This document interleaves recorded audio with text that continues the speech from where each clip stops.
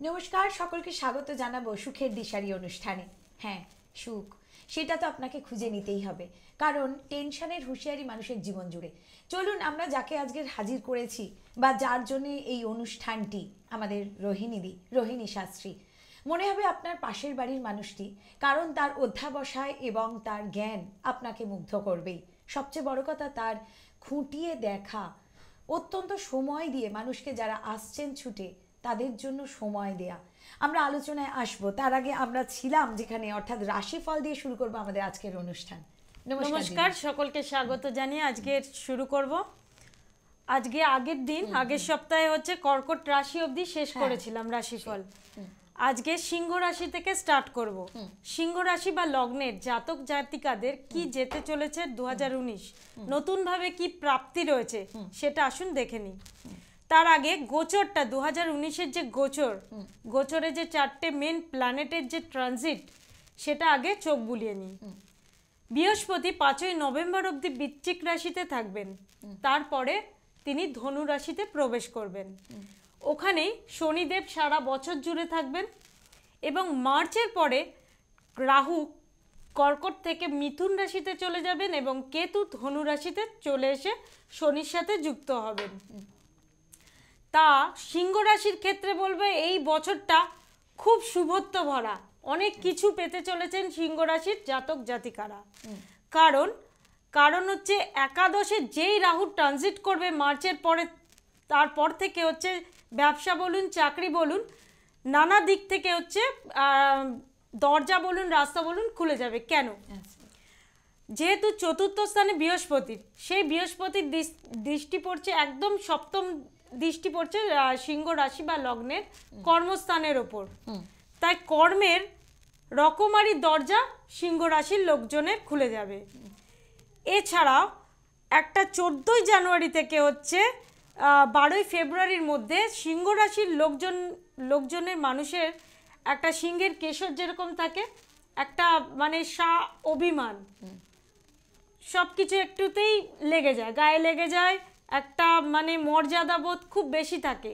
এই কারণে সিংহ রাশির হচ্ছে জাতক জাতিকা চোদ্দোই মানে এই চোদ্দোই জানুয়ারি থেকে হচ্ছে আহ, ফেব্রুয়ারির পনেরো তারিখ অবধি একটু নিজের ইগোটা ওভার কনফিডেন্সটা কমিয়ে রাখতে পারলে ভালো। কারণ এই সময় হচ্ছে প্রচুর পরিমাণে অর্থ খরচকে নির্দেশ করছে। এবং শরীর স্বাস্থ্যের দিক থেকে খুব সাবধান। তাই শুরুটা সিংহ রাশির শুরুটা একটু সচেতনভাবে অর্থ খরচ করুন এবং নিজের শরীরের দিকে হচ্ছে যত্ন নিন। তারপরে যেই রাহু মিথুন রাশিতে প্রবেশ করবে একাদশে, কারণ রাহু এতদিন পর্যন্ত দ্বাদশে ছিল, সিংহ রাশির বহু জায়গায় আপনি ইনভেস্ট করে ফেলেছেন। সেখান থেকে এবার পাওয়ার সময়।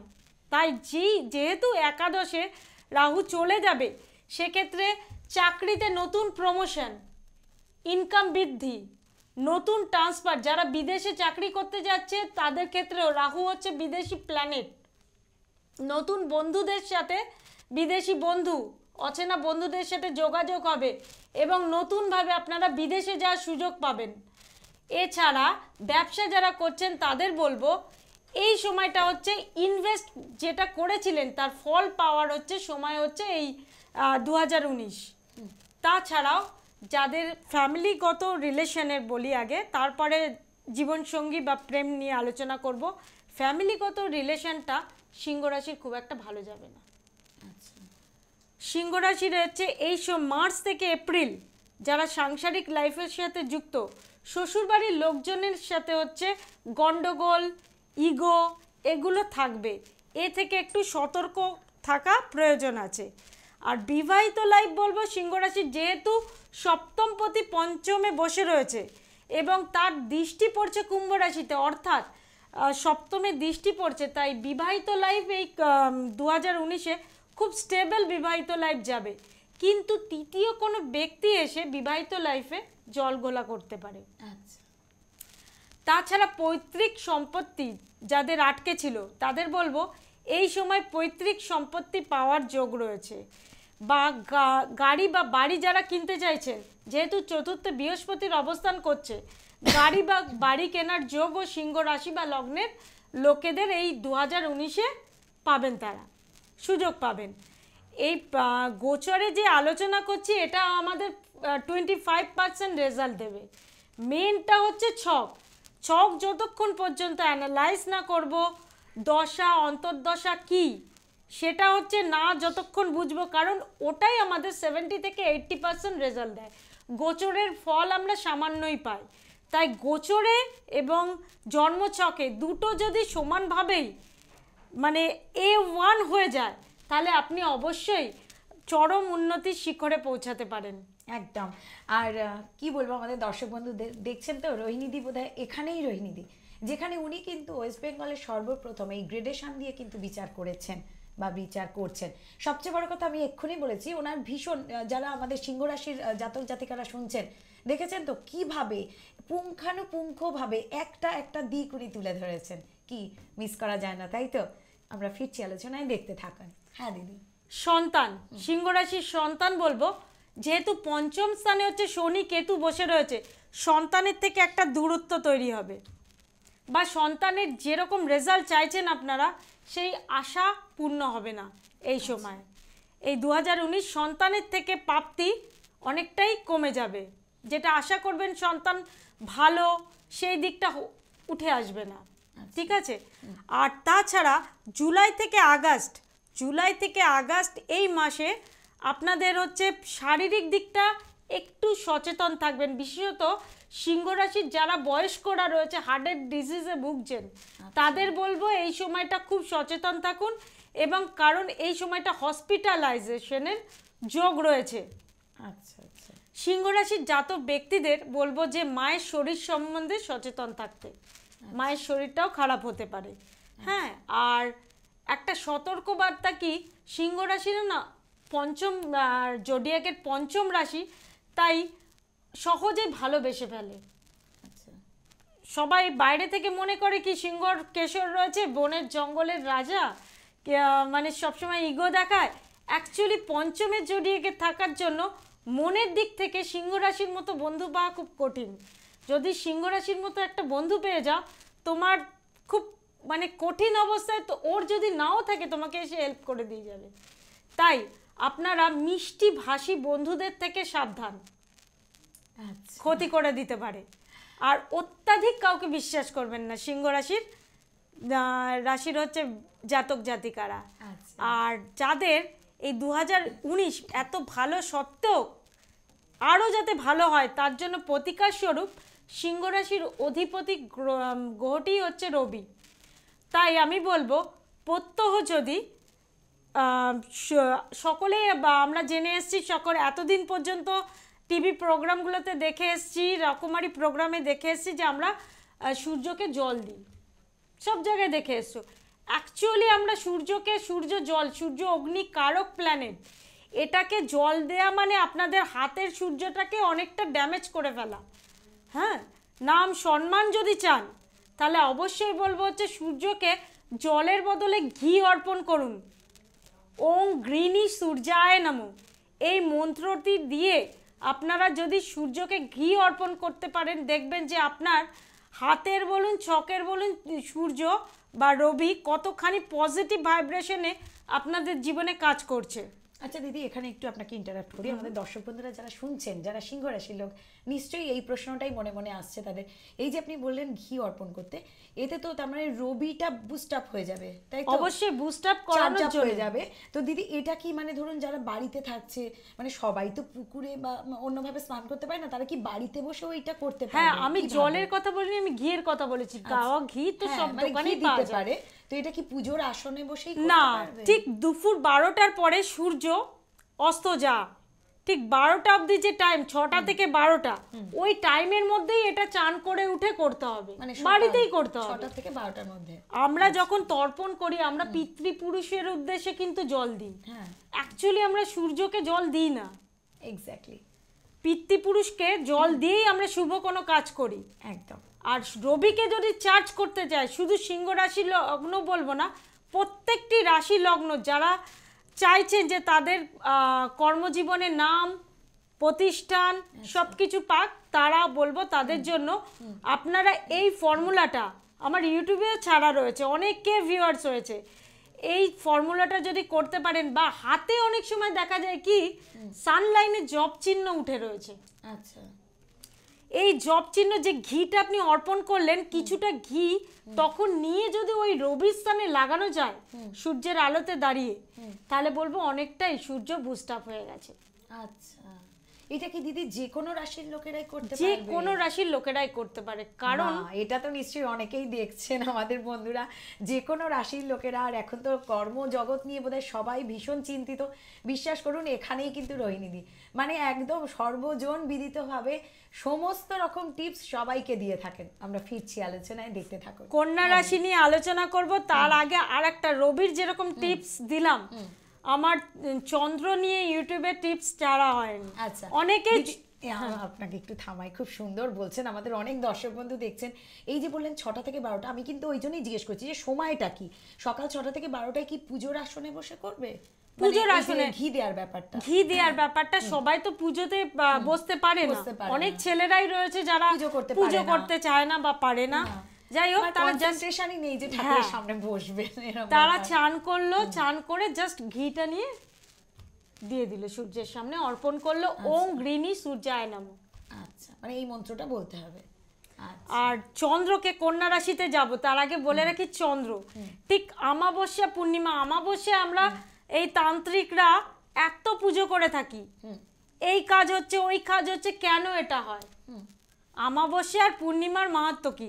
ঠিক পূর্ণিমার দিন যখন চাঁদ ওঠে তুমি কিসের ওপর এত আকর্ষ- আকর্ষিত হও? নিশ্চয়ই চাঁদ চাঁদ একদম। সবাই চাঁদের ওপর আকর্ষিত হ্যাঁ, মানে চাঁদের রূপ সৌন্দর্য আলোতে হ্যাঁ ওটা একটা পজিটিভ ভাইব্রেশন কাজ করে যেটা তোমাকে টানছে।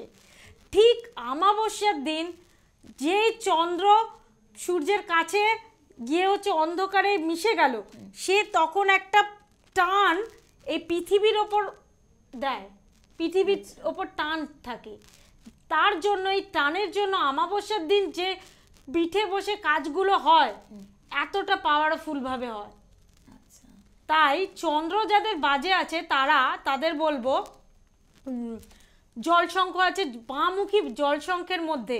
ঠিক আমাবস্যার দিন করলে সকালবেলা বারোটার মধ্যে আর পূর্ণিমার দিন করলে ঠিক রাত্রিবেলা। জল আর দুধ নেবেন। জলশঙ্খের মধ্যে জল নিয়ে সেই দুধ আর জল নিয়ে গঙ্গা জল আর দুধ নিয়ে ঠিক চন্দ্রের দিক করে।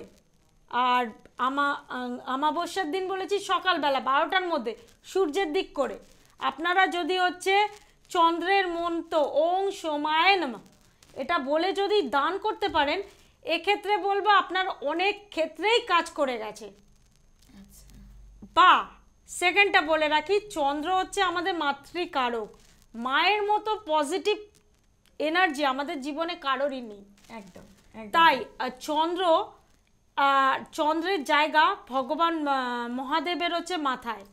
চন্দ্র ক্ষয়ভূত হয়ে যাদের চন্দ্র নিচস্থ বা শনি রাহু এরকম পাপ পীড়িত হয়ে রয়েছে তাদের বলব ওং শিবায় লিখে একদম পিওর চাঁদিতে ওই চাঁদের মতো, অর্ধচন্দ্র আকারের চাঁদের মতো জিনিস তৈরি করে তার ওপরে ওং শিবায় লিখে ওই চাঁদের টুকরোটি ঠিক আমাবস্যা হলে হচ্ছে সকালবেলা, পূর্ণিমা হলে রাত্রিবেলা।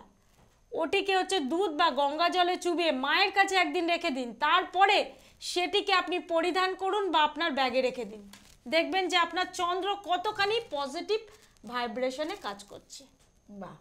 এটা তো মিস করা যাচ্ছে না। কি তাই তো আমাদের দর্শক বন্ধুদের বলব, সত্যি বলছি, বিশ্বাস করুন, আমি নিজেই অবাক হয়ে, মুগ্ধ হয়ে শুনি। মানে এই জায়গাগুলো না কিছুভাবে বলা নয়। এমন একজন মানুষকে কিন্তু কোনোভাবেই মিস করা যায় না। আমাদের দর্শক বন্ধুদের জানিয়ে রাখি, কোথায় কোথায় পাচ্ছেন রোহিণীদিকে। ওনার চেম্বার রয়েছে কলকাতার কালীঘাটে সৌভাগ্যচক্র। শ্যামবাজারে পাচ্ছেন, অর্থাৎ নর্থ কলকাতাতে পাচ্ছেন গ্রহরত্ন। তাছাড়াও হাওড়াতে পাচ্ছেন আন্দুলে ওনার নিজস্ব চেম্বার। হাওড়াতে পাচ্ছেন সিটিআই বাজারে বাজারে পাচ্ছেন ধারা জুয়েলার্স, সেখানেও পাচ্ছেন। আর কুড়ি তারিখ আপনারা পাচ্ছেন, অর্থাৎ জানুয়ারি মাসের কুড়ি তারিখে দু হাজার উনিশ কুড়ি তারিখে পাচ্ছেন কৃষ্ণনগরে ওনাকে পেয়ে যাচ্ছেন। আর দশ তারিখে পাচ্ছেন, ফেব্রুয়ারি মাসের দশ তারিখে পাচ্ছেন দুর্গাপুরে।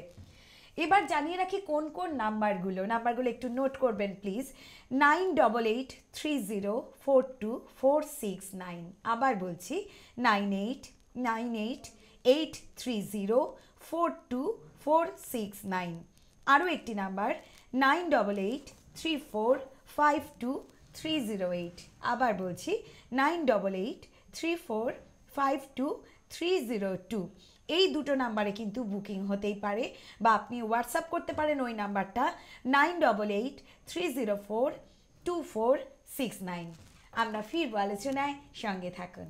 হ্যাঁ দিদি হ্যাঁ নেক্সট যেটা আবার ছিলাম কন্যা রাশি।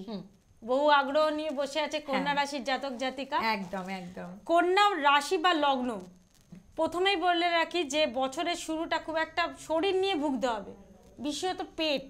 পেটের প্রবলেম যেহেতু দেবগুরু বৃহস্পতি বৃশ্চিক রাশিতে বসে আছেন পাইলস রিলেটেড গাইনো রিলেটেড সব সমস্যা মহিলাদের এই সময়টা বাড়বে। সার্বিকভাবে বলে রাখি সাথে কন্যা রাশিরও এই সমস্যা নিয়ে ভুগবেন। এবং কন্যা রাশির কর্মের দিকটাই হচ্ছে একটা মানে হোয়াইট হর্স যেরমভাবে দৌড়ায় ওরমভাবে দৌড়াবে। কারণ হচ্ছে রাহু মেটেরিয়াল প্রফিটের কারক গ্রহ। সেটি একাদশ থেকে দশমে যাচ্ছে আপনাদের এবং দশমে গিয়ে তুঙ্গস্থ হচ্ছে। তাই কর্মজীবনের রকমারি উন্নতি কন্যা রাশির লোকেরা এই বছর পাবেন। এবং যারা বিজনেস করতে চাইছেন তাদের বলব তাদের জন্য রাস্তা খুলে গেছে। প্রচুর পরিমাণে উন্নতি কর্মে এবং ব্যবসা করলে নতুন ইনভেস্টমেন্ট করলে তা থেকেও লাভ পাবেন কন্যা রাশির জাতক জাতিকারা। এছাড়া যেটা বলে রাখি কন্যা রাশি এই বছরটা অনেক সময় দুঃসাহসিক রিস্ক নিয়ে ফেলবেন। যেহেতু হচ্ছে দশম স্থানে রাহু তুঙ্গস্থ রাহু রাহু মানেই হচ্ছে একটা ইলিউশন দেবে সবাইকেই তুঙ্গস্থ হয়ে বসে আছে তাই জন্য দুঃসাহসিক রিস্ক নেবেন। সেই দিকটা থেকে একটু বাঁচুন। সাবধানে ভেবে চিনতে পা ফেলা অবশ্যই ভেবে চিনতে পা ফেলুন। এবং সাংসারিক দিকটা দেখতে গেলে যেহেতু চতুর্থভাবে রয়েছে হচ্ছে শনি কেতু। তাই বলব যে সাংসারিক গন্ডগোল তার জন্য ডিপ্রেশন এই কন্যা রাশির এই বছরটা লেগেই থাকবে। আচ্ছা। আর সপ্তমে সপ্তম পতি এখানে বুধ। বুধ যেহেতু ভালোভাবে ট্রানজিট করবে সপ্তম বিবাহিত লাইফ হচ্ছে কন্যা রাশির খুব ভালো যাবে এবছর একটা বনিবনা সব কিছু থাকবে। প্রেমিকের থেকে হচ্ছে সম্মান প্রেমিক প্রেমিকারা একে অপরের থেকে সম্মান বিবাহিত জীবনে সম্মান তা ছোটোখাটো ঝগড়া, অশান্তি বিবাহিত জীবনে লেগেই থাকে। সেটা মাথায় রাখলে হবে না।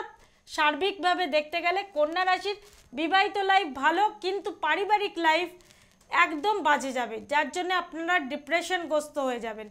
তাছাড়া দু চাকা থেকে অবশ্যই বলব অবশ্যই বলব, দু চাকা আসতে চালান। দু চাকা থেকে বিপদ রয়েছে কন্যা রাশির জাত ব্যক্তিদের। একদম। আর আমাদের দর্শক বন্ধুদের বলব, দেখছেন তো এই যে দিদি বললেন যে একটু ভেবে চিনতে পা ফেলুন এই জায়গাটা। উনি স্পষ্ট কথা স্পষ্টভাবে বলতে পারেন এবং সবচেয়ে বড় কথা যে কোনো কিছুকে এত সুন্দরভাবে উনি ক্ল্যারিফিকেশন করেন, বর্ণনা করেন। রোহিণীদের কাছে সবচেয়ে বড় কথা হচ্ছে অ্যাস্ট্রোলজি কিন্তু আগাম পূর্বাভাস। আপনি যে কোনো কিছুই করতে যান না কেন, আপনার পাশে এমন একজন ফ্রেন্ড ফিলোজফার গাইড যেখানে থেকে আপনি আপনার জীবনের প্রত্যেকটা মুহূর্ত একটু সাবধান সাবধানতা নিয়েই চলতে পারবেন। কি, তাই তো? ক্ষতি কি আছে বলুন? আপনি হয়তো অনেক সমস্যার হাত থেকে বেঁচে গেলেন। আর আমাদের দর্শক বন্ধুদের বলব, এত প্রত্যেকটা বিষয় আপনি দেখতে পাচ্ছেন, সত্যি কথা ওনার জ্ঞান আপনাকে মুগ্ধ করবেই করবে এবং বহু মানুষ তার কাছে এসে উপকৃত। আমরা চাইব আপনিও একটু সরাসরি যোগাযোগ করুন। যে কন্যা রাশির লোকেরা শুনছেন বা যাদের ইচ্ছে হচ্ছে এমন সুন্দর একজন মানুষকে, যার কাছ থেকে অনেক কিছু জানা যেতে পারে, আপনি পেয়ে যেতে পারেন আপনার জীবনের সুখের চাবিকাঠি। একটু জানিয়ে রাখি আপনাদের ফোন নাম্বারগুলো।